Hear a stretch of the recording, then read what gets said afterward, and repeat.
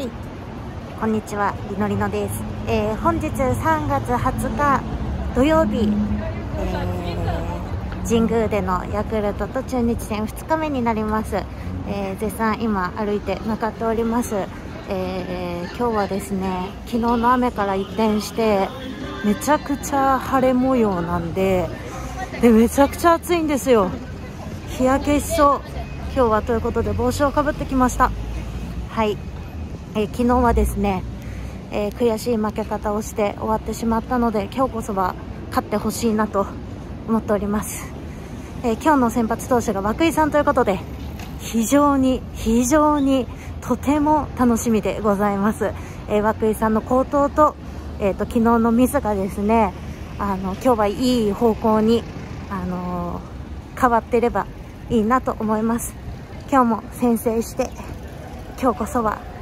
勝ち試合を見たいなと思います。ということで行ってまいります。りのりのチャンネル。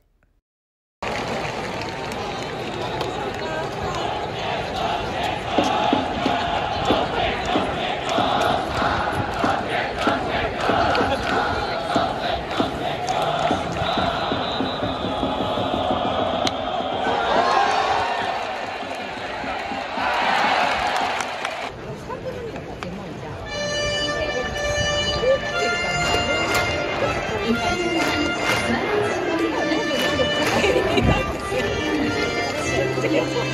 you.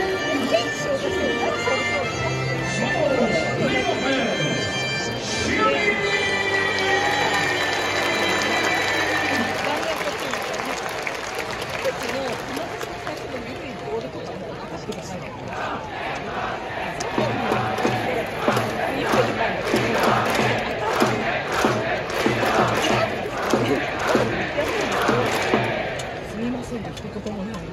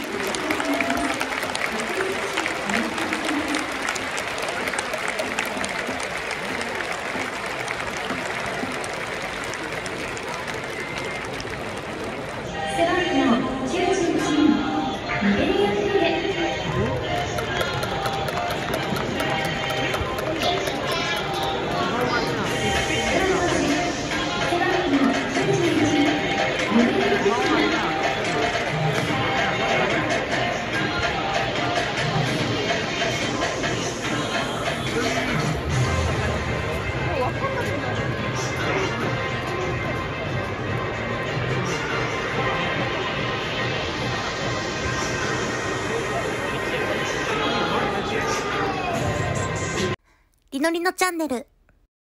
はい、えー、開幕戦2日目、えー、神宮で行われたヤクルト対中日戦。今日の結果は分け法でしたなんか、まあ、負けなかっただけいいのかなという感じなんですけど、まあ、勝ちが見たかったなというのもあるんですが、12回まで本当に長い試合を、あの、選手の方々もね、ファンの皆さんもこう一体となってこうみんなで頑張った試合だったかなと思います。あのやっぱり昨日もそうなんですけど8回というのは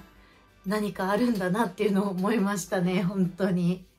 まあ、松山さんが昨日今日とあんまりあの8回でってところはあるんですけどやっぱり去年もたくさんピンチの時にこう守ってくれたりだとかすごく高騰してたりとか、まあ、私は個人的に松山さんのこう戦ってる顔がとても好きなので、まあ、今日の2日間のことはそんなに気にしてないというか、まあ、ご本人が多分一番悔しがってると思うのでまたこれにめげずにね明日以降もあの投げてくれたらいいなと思っております。はい。えー、まあ、涌井さんにね、勝ちが本当に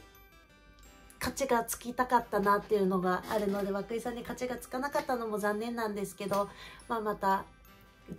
今後来週以降もまた登板する機会があると思うのでそこにまた期待したいと思います。でもナイスピッチングでした。そして、えー、あれですね、2000奪三振。達成ということで、あの、史上24人目ということで、その、こう、ちょっと記念すべき場に立ち会えたのは、その瞬間を見れたのはとても嬉しかったです。はい。そんな感じで、えー、2日目でした。明日3日目ですね。明日も見に行きたいと思います。明日こそ買ってほしいまた明日も楽しみに、えー、全力で応援したいと思います。ということで2日目でした。